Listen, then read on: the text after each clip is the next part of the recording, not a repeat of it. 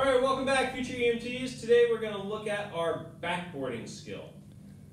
For our backboarding skill, first thing we're going to do is we're going to have a partner to maintain our neutral inline position of our patient. So Cindy, can you go ahead and maintain neutral inline position?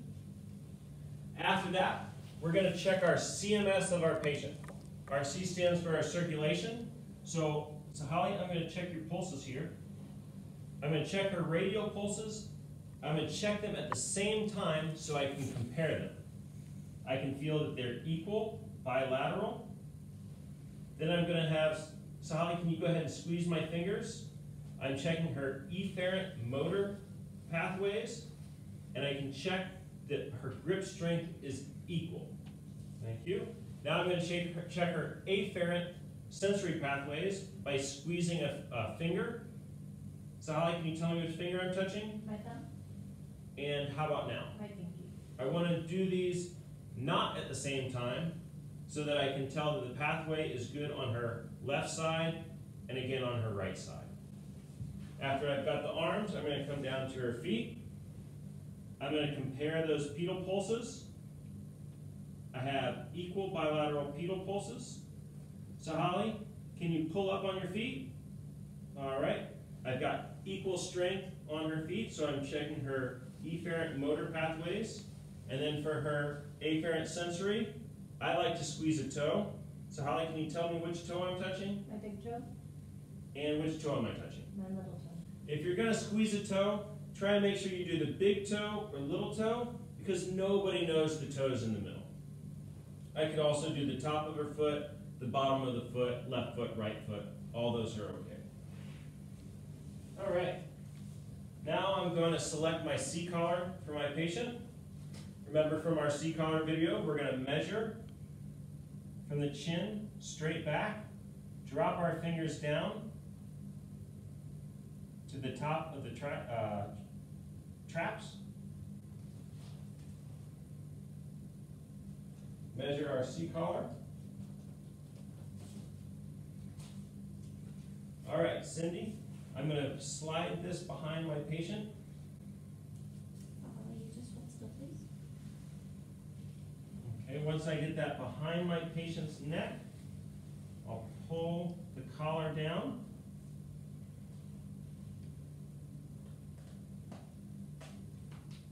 And secure my collar. I want to make sure that it's tight enough on my patient.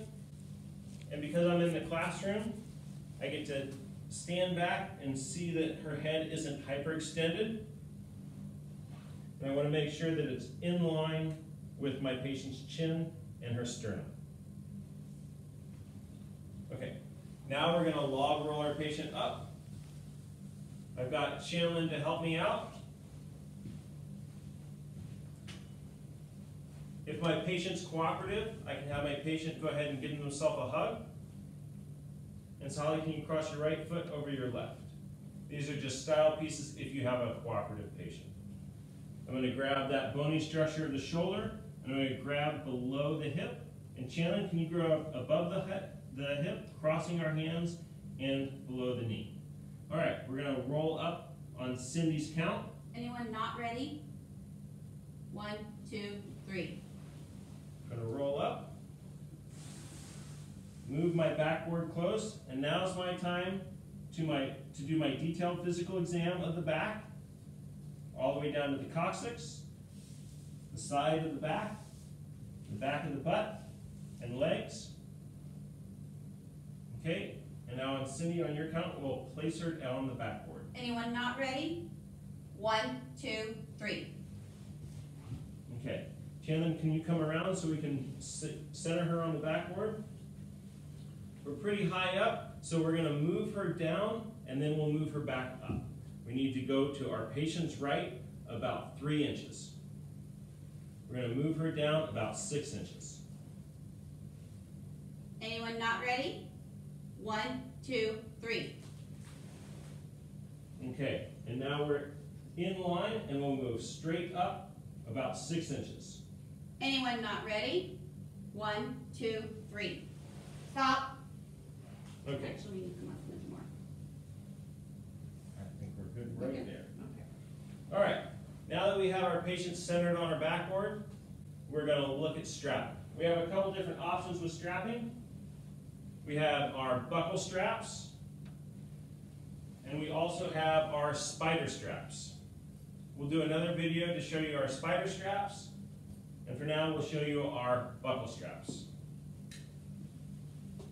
The buckle strap has a loop on one end and a buckle on the other. To attach the buckle strap, we're going to place one end around the handle of the backboard, around the location of the hip. Through the loop on the backboard, we'll take the buckle, slide it through, and that creates our girth hitch. That's going to go at a diagonal across our patient's chest. Our next side of the buckle will go above their shoulder, another girth hitch. Tighten that down and buckle that in across our patient's chest.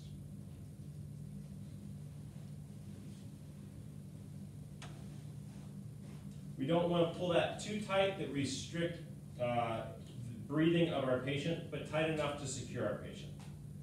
Now when I put the other diagonal side, I want to put my, I have a short buckle and a long buckle side of my buckles.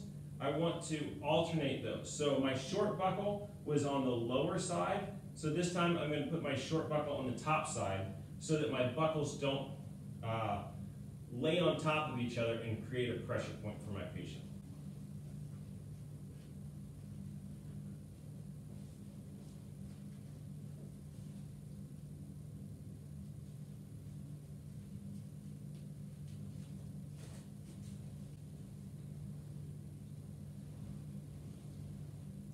Before I tighten that down, I'm going to feel underneath the small of my patient's back, right in here, and see if there's any space where I can put some padding. I'm going to pad those voids. I don't want to lift up too high on my patient, just enough for a little bit of comfort.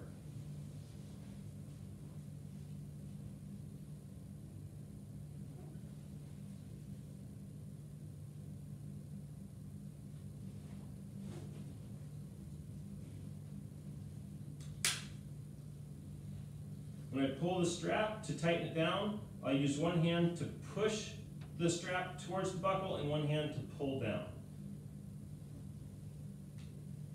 So Holly, does that feel like it restricts your breathing? Yeah. Okay. Now I'm going to move down to my patient's hips to finish securing her torso.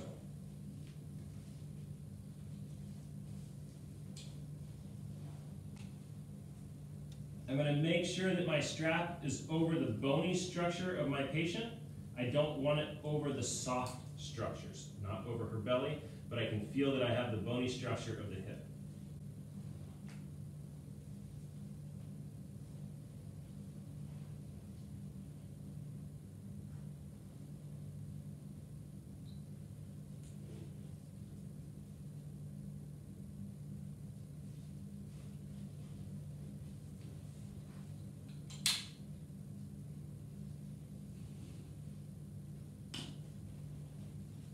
Okay. Now that I have my patient's chest and hips secure, I have the torso secure. Here you, as an EMT, get to decide if you want to secure the head or finish with the legs. Because I have Cindy holding the head, securing the head, I like to go ahead and finish my legs. As long as you do the torso first, you'll be okay. So I'm going to move down to my patient's legs. I'm going to put some padding underneath of her knees.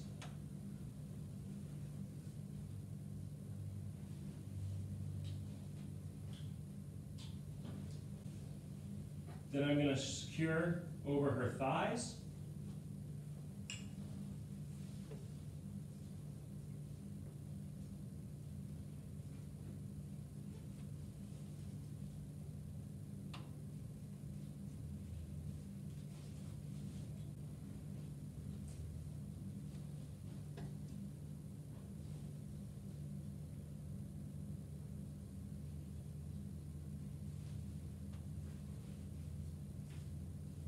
Once I have it secure over her thighs,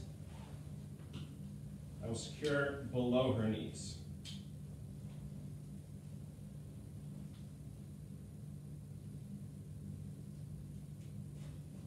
Try and think about how long your patient is going to be on the backboard.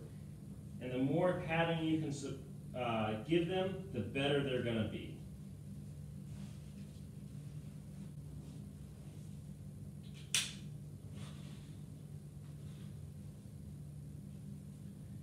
You have a smaller patient where your straps uh, are too loose, you can wrap your, your strap a couple times around each handle to take up that extra space. Now that I have my patient secured to the backboard, I'm going to go ahead and secure the patient's head. We have two different options here we'll show you. One is our disposable straps, or our disposable head beds. This is what most departments are going to. And then we have the reusable head beds, which places like uh, lifeguards, pools, ski patrol have. Uh, they are both designed to secure the head.